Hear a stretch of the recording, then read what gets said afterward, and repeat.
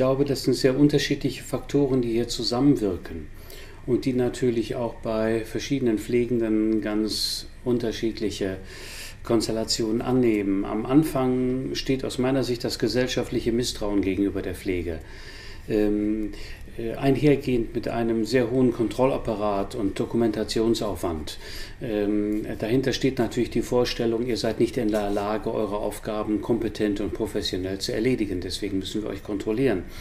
Ähm, das hängt natürlich zusammen mit einer äh, geringen Anerkennung für nicht technisierte Humandienstleistungen insgesamt. Ähm, das heißt, da fängt das an. Der zweite Faktor ist, dass Pflegende am laufenden Bande mit sehr unangenehmen Situationen und auch eigenen Gefühlen konfrontiert werden. Drittens trifft das bei vielen Pflegenden oft ein, oft ein Gefühl von Unsicherheit und vielleicht auch auf ein geringes Selbstwertgefühl, ähm, das wiederum dazu führt, dass man sehr hohe Anforderungen an sich selbst hat, von denen man schwer Abstand nehmen kann. Also man kann sich nicht mit weniger zufrieden geben. Ähm, und je höher die Anforderungen an sich selbst sind, desto geringer ist oft der Kontakt zu den eigenen Gefühlen und den eigenen Bedürfnissen. Und wiederum, je geringer der Kontakt zu den eigenen Gefühlen und Bedürfnissen ist, desto schlechter kann man sich abgrenzen und Nein sagen. Also eine ganze Kette von Faktoren, die dazu führen. Am Ende dieser Entwicklung steht jedenfalls die Entwicklung von Suchtverhalten. Ja, das ist also zu viel süßes Essen, zu viel Rauchen und auch Alkohol spielt eine Rolle. Also die Unsicherheit und das geringe Selbstwertgefühl im Zusammenhang mit dem Misstrauen führt zu sehr hohen Anforderungen, die wiederum führen dazu, dass man eigene Gefühle und Bedürfnisse wenig in den Blick bekommt und die wiederum sind die Grundlage für ein Suchtverhalten. Ähm, das Ganze hängt natürlich noch äh, auch mit der Natur der pflegerischen Arbeit zusammen. Pflegerische Arbeit ist ein Stück weit rückzugslos. Man ist immer da, man ist immer zuständig.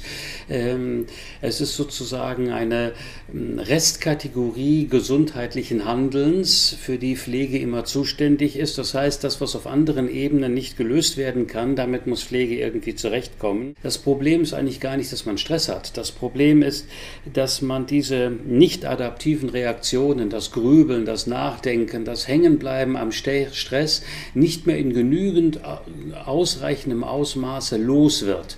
Damit ergibt sich ein permanent hoher Level an Stressreaktionen und der hat dann auf die Dauer vielerlei gesundheitlich negative Folgen. Also das ist also eine Kette von sehr unterschiedlichen Faktoren, die zusammenwirken.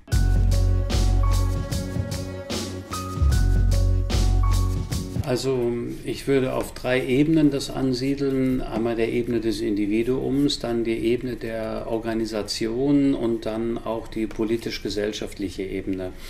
Auf der Ebene des Einzelnen ist es, glaube ich, sehr wichtig, sich in der gesamten Ausbildung und dann auch in der weiteren Existenz in diesem Beruf ähm, damit zu befassen, die Dinge, die einem Freude bereiten und die ähm, einen mit anderen Menschen zusammenbringen, äh, wirklich zu pflegen.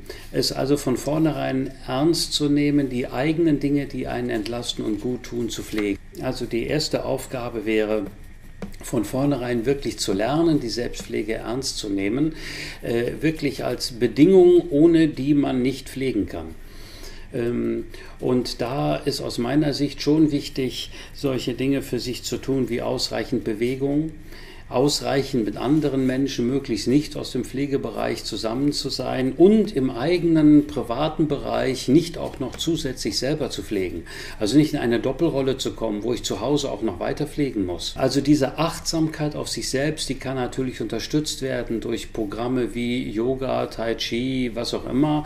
Aber ich muss bewusst irgendeine dieser Dinge konsequent verfolgen, um für mich dieses Herunterkommen von, dem, von der Stressebene dauerhaft und wirksam im Alltag zu verankern. Das ist der erste Faktor. Der zweite Faktor ist natürlich, äh, Pflegende sind umso zufriedener, je höher sie äh, selbstwirksam sein können. Ähm, also wenn die Rahmenbedingungen, unter denen ich arbeite, auch Bedingungen sind, die ich selber zu einem Gutteil mitbestimmen und mitgestalten kann. Ähm, je enger ich kontrolliert werde, je mehr ich fremdbestimmt werde, je mehr ich Dinge tun muss, die eigentlich meinem professionellen Urteil entgegenlaufen und die ich für sinnlos halte, desto größer ist eigentlich das Stresserleben. Das heißt, Unternehmen müssten Rahmenbedingungen schaffen, unter denen Pflegende zu einem großen, in einem großen Ausmaße selbstbestimmt arbeiten können. Self-Efficacy ist so das Stichwort. Und die dritte Ebene, das wäre die politische Ebene. Ich denke schon, dass ähm, das Ausmaß, in dem Pflegende sich zu sich und ihrer Beruflichkeit auch politisch nicht äußern und einbringen, keine Lobby bilden, ein wesentlicher Faktor ist, ähm, der so die Hilflosigkeitssituation unterstreicht.